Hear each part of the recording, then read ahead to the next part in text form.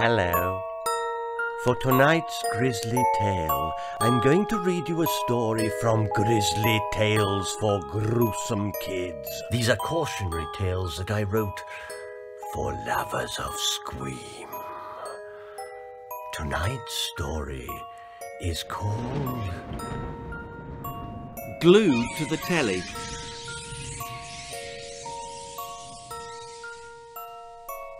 Herbert Hinckley loves the television. He doesn't go to school, he doesn't go out to play, he doesn't have any friends. Well, he doesn't need them, because Herbert Hinckley loves the television. He sits all day in his shabby red armchair, eating packets of crisps and drinking Coca-Cola. His parents don't seem to mind.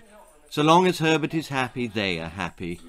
So Herbert just sits there, day in, day out, flicking between the channels, watching programme after mindless programme on a battered old television set.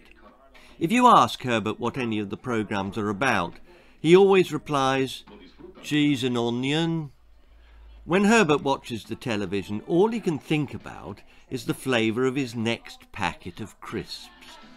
The television set is as old as Herbert himself. His parents bought it for him on the day that he was born. It has seen better days. The back is held on with rubber bands and garden string. The knobs on the front have long since dropped off and been replaced by lumps of half-chewed bubble gum. The screen has got a crack across it that Herbert mended with sellotape and sticking plaster. Would you like to sleep down here tonight, Herbert, as a treat? said his mother one day. Cheese and onion, said Herbert. We thought you'd like to, said Mr. Hinckley. You can watch the television all night if you sleep down here. It'll make a nice change for you, said his mother, taking away the empty crisp packets and pushing a fresh bag into Herbert's lap. Although you'd never have known it, Herbert was very excited as his parents made up the sofa in the sitting room. Sleep well, dear, said Mrs. Hinckley. Salt and vinegar? said Herbert, who was obviously enjoying himself because the last time he had asked for salt and vinegar, England were winning a test match against the West Indies. Herbert sat in his armchair until the little white dot disappeared from the screen. Then he got up and switched the television off at the mains. It was an old set, so this was a wise precaution. He didn't want any fires starting while he was asleep, he looked at the newspaper to check what time the breakfast show started, set his alarm, and climbed into bed, exhausted after a hard day's watching. He dreamt of cheese and onion crisps. An hour later, while Herbert slept, a silver-grey cloud passed between the moon and Herbert's house. The sitting room was plunged into darkness. A streak of lightning cracked through the sky and struck the aerial that led directly into the back of Herbert's television. A switch clicked on. A faint humming sound grew from deep inside the belly of the machine. Then suddenly, blip, the television switched itself on. The little white dot that had been no bigger than a fingernail started to grow, getting larger and larger with every sleepy breath that Herbert took. It was as if Herbert and the television were breathing as one. The dot filled the screen and spread out into the room. It crept across the floor towards the sofa, edged over Herbert's pillow and onto his face.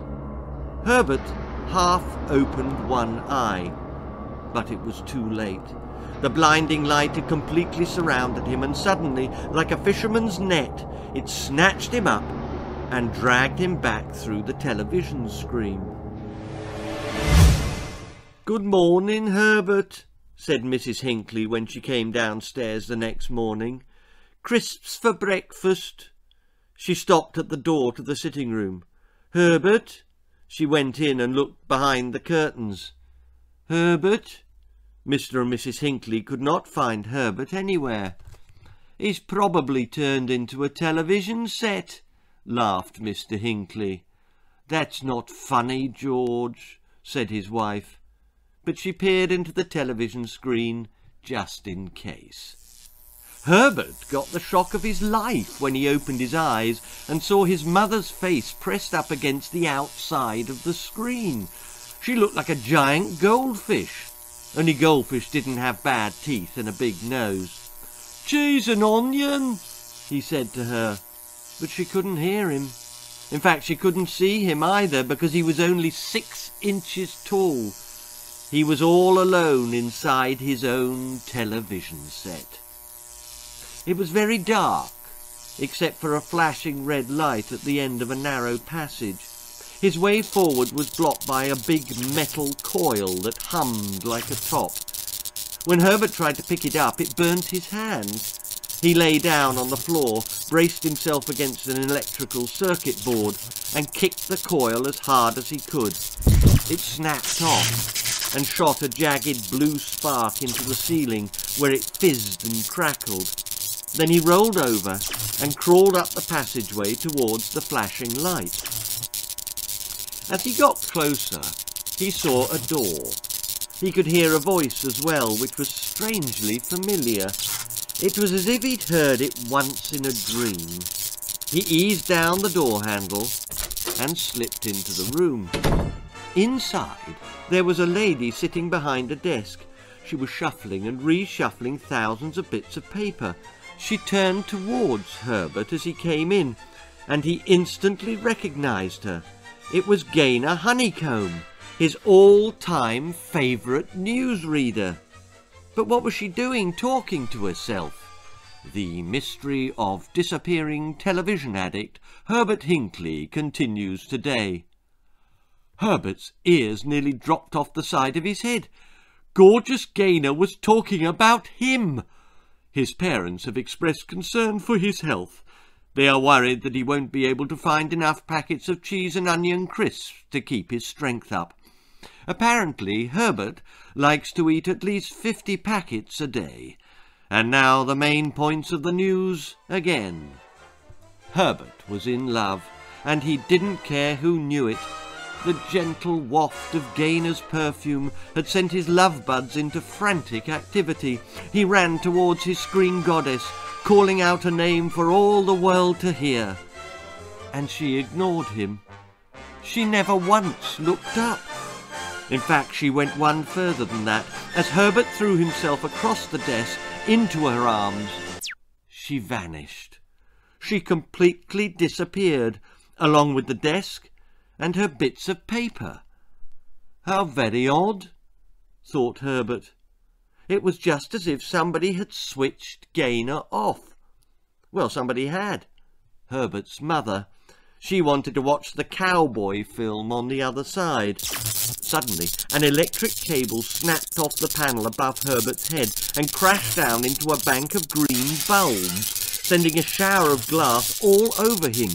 The cable thrashed wildly like a dying fish. Then it was still. Herbert gulped. The old television set was collapsing under his extra weight. He ran into a rusty corridor. Puddles of deadly acid oozed up from beneath the metal floor, and lumps of solder dangled precariously from the ceiling like so many dead spiders. The inside of Herbert's television was a mess. He had to get out of there. There were hundreds of doors in the corridor. Herbert opened one. A little girl and a clown were sitting in the corner listening to horrible soupy music on an old gramophone. Get out, said the little girl. Can't you see we're playing noughts and crosses? Cheese and onion, said Herbert. What he meant to say was sorry. He backed out and tried the next room along. As he opened the door, a bullet whistled past his nose and buried itself into the wall behind his left ear. A heavy fist thumped him on the end of his chin, and a large pair of hands picked him up and flung him halfway across the room. Howdy, stranger, said the bartender. Enjoying the fight? Herbert was still slightly dazed as he looked up. He was in a Wild West saloon bar in the middle of the roughest, toughest brawl he had ever seen. The bartender ducked as a bottle smashed into the mirror behind him. What you having, partner? he said to Herbert. Whiskey? A packet of cheese and onion crisps, please, replied Herbert. He was famished. A very large, hairy man suddenly appeared next to him. I's going to hit you with my sledgehammer, he said. Would you like that? Herbert dived behind the bar as the large, hairy man turned a perfectly nice bar stool into matchwood. Oh, it gets worse every night, said the little orange bear, who was also taking cover behind the bar. His doggy friends squeaked in agreement. I mean, why do they have to hurt each other? Oh, by the way, I'm Sooty, said the bear, and this is my friend Sweep. Uh, pleased to meet you, said Herbert. I'm Herbert Hinckley. I'm a great fan of yours. I've seen all your films. What are you doing behind this bar? Well, we're waiting to do our show, said Sooty wearily. We can't start until they finish fighting. Our viewers will be furious, you know. They want water pistols, not guns. They want to see custard pies pushed in people's faces, not chairs broken over some poor fellow's back. I mean, look, Sooty picked up a tiny chair and smashed it over Herbert's head. That's just not funny, is it? said Sooty. No, said Herbert. Not really. Then his eyes rolled upwards and he crashed to the floor. Sooty had knocked him out. When he came to, Herbert's arms appeared to be trapped by his side, but upon opening his eyes, he discovered that he was tucked up in a hospital bed. A doctor and a nurse were standing over him and gazing at each other. Nurse Paget, said the doctor. Yes, Dr. Miles, replied the nurse with a tear in her eye. The whole world thinks we're mad, said the doctor, but we're not. I can't help myself. But I love you, Nurse Paget.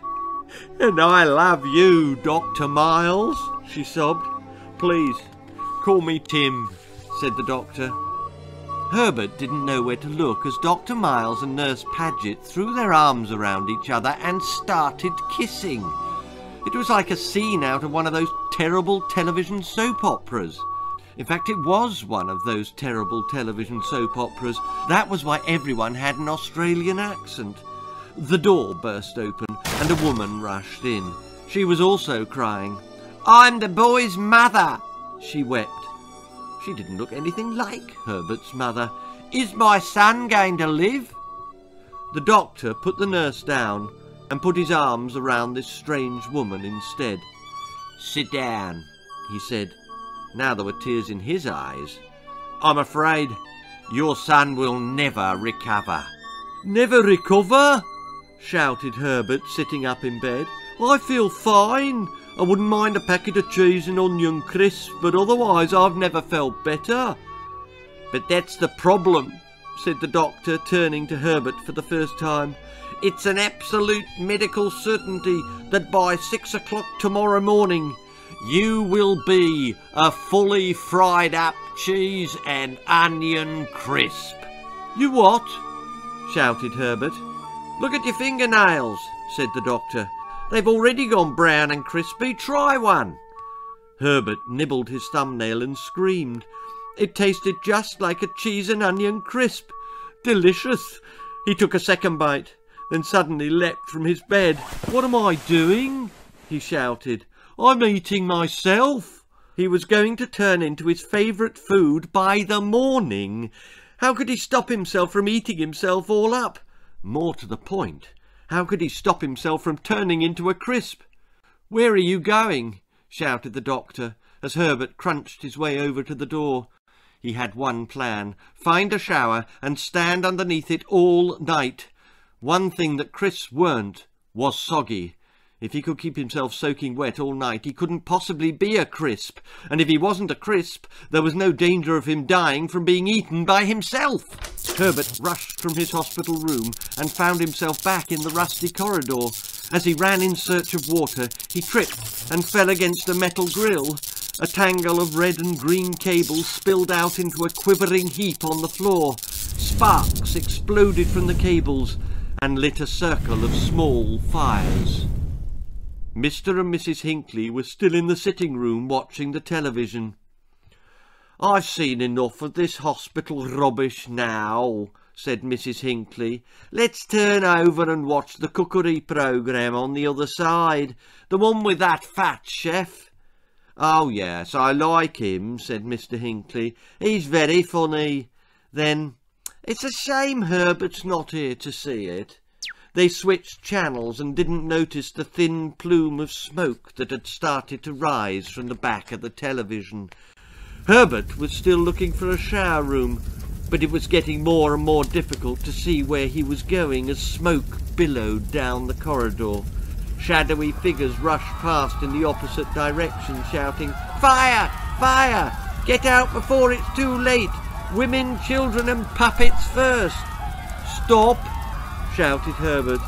I need to find water before I turn into a cheese and onion crisp. But nobody was listening. Even Batman and Robin ran past and pretended not to hear. Mr. and Mrs. Hinckley had turned over to the cookery programme. The fat cook was showing everyone how to make potato crisps. Mmm, said Mrs. Hinckley. Those look so good I can almost smell them. The smoke was now rising steadily from the back of Herbert's television and filling the room. Herbert was banging on the back of the television screen. Help! he shouted. He could see his parents sitting on the sofa sniffing the air. Did you hear anything just then? said Mr. Hinckley. It was the cat, said his wife. I'm in the telly, cried Herbert. Could you please get out of my way, said the fat cook, who was standing behind Herbert in the kitchen. People can't see what I'm doing. Oh, tell them, pleaded Herbert. Tell them I'm in the television. There's smoke coming out of the back, and I'm going to be turned into a cheese and onion crisp. They can't hear me. The cook was not only fat, but was also mad. You have smoke coming out of your back and you're a cheese and onion crisp? No, I'm going to become a cheese and onion crisp. Well, if that's what you want, said the chef, picking Herbert up by the seat of his trousers, why wait? Be a cheese and onion crisp now. He opened the oven door and slid Herbert in. Mr. and Mrs. Hinckley were laughing so much that they did not see the first flame leap out of the television set. Oh, that chef is so funny gasped Mr. Hinckley. Did you notice when he put that extra large potato into the oven? It looked just like Herbert, screamed Mrs. Hinckley as she held her sides and went red in the face. Oh, look, she went on, pointing to the fire which was now blazing out of the back of the television. That chef is burning the crisps. Mr. and Mrs. Hinckley clutched each other, fell off the sofa and rolled around on the carpet in a state of helpless hysteria. They were laughing so much that they never heard Herbert's cries for help. When they stopped laughing, the television had gone. It had burnt away to a pile of ashes.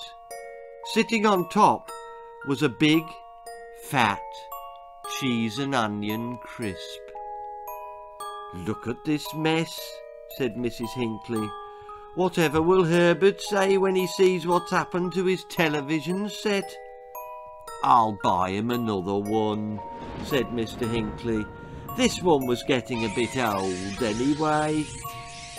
I wonder where Herbert is, said his mother, unwinding the flex to the vacuum cleaner. Well, he's probably gone out, said his father. Mrs. Hinckley started hoovering up the pile of ashes. Well, he can't have gone far, she said. He's left a crisp behind. She nibbled the corner. Cheese and onion, his favourite. I've never known him leave a cheese and onion. Oh, he's bound to come back to finish it. She picked the crisp up, sealed it in a Tupperware box, put it in the fridge, and unfortunately forgot all about it.